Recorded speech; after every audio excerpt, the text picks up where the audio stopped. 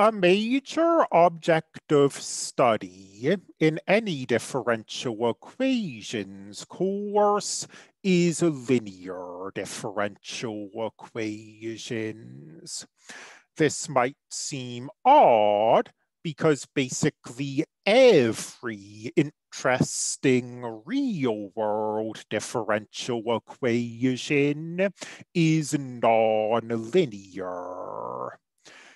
down the road, we will see an explanation for this.